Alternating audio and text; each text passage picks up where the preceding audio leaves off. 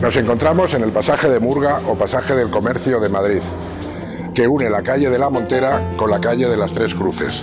Fue inaugurado el 9 de noviembre de 1847. Fue construida sobre los terrenos de la antigua posada de la Gallega Vieja, que ya estaba aquí en el siglo XVIII y era muy famosa porque de su puerta salían los transportes de viajeros hacia el norte del país.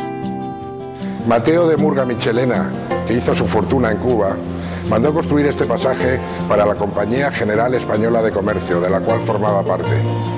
Esta empresa se dedicaba a la venta de ropa por mayor y al detalle. Este pasaje se llama del comercio por su propietaria, la Compañía del Comercio, y de Burga por el apellido de quien lo mandó construir. El proyecto de la obra fue encargado al arquitecto Juan Esteban Puerta. Tuvo todos los elogios de la prensa del momento por su innovación a la moda europea ya que era el tercer pasaje comercial tras el de Mateu y el del Iris que se abría en Madrid. En el pasaje entonces señalado con el número 47 y que hoy se corresponde con el 33 de la calle de la Montera, se abrió un bazar con gran surtido de géneros de todas clases tanto en el piso bajo como en el principal. En su inauguración, los balcones que dan a la galería lucían ricas y variadas alfombras, terciopelos, lujosas sedas, chales y un buen muestrario de sólidos calcetines.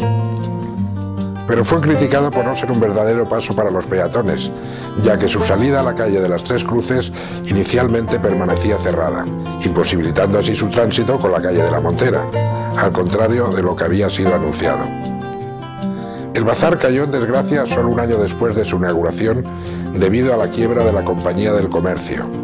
Y en mayo de 1848 se produjo el cierre de estos almacenes y el inventario de sus efectos. El pasaje del comercio fue deteriorándose poco a poco. Se abrió su puerta a la calle de las Tres Cruces, pero de noche resultaba un lugar peligroso porque carecía de iluminación. El antiguo bazar fue dividido en pequeñas tiendas numeradas, que serían ocupadas por varios establecimientos como el Café del Pasaje de Murga, que fue muy popular y concurrido por ofrecer conciertos durante la noche. Sería de los primeros en Madrid en ofertar menús con platos diferentes cada día y anunciarlos en la prensa. Con los primeros años del siglo XX, este café tuvo que cerrar, dado que ya no estaba de moda.